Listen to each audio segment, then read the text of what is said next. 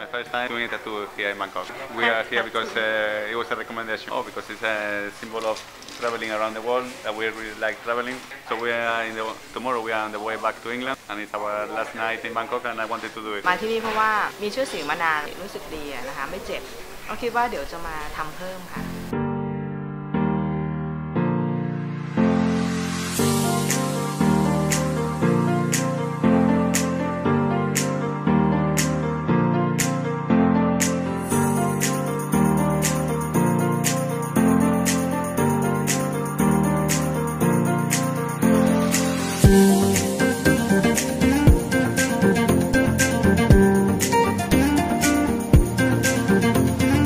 you.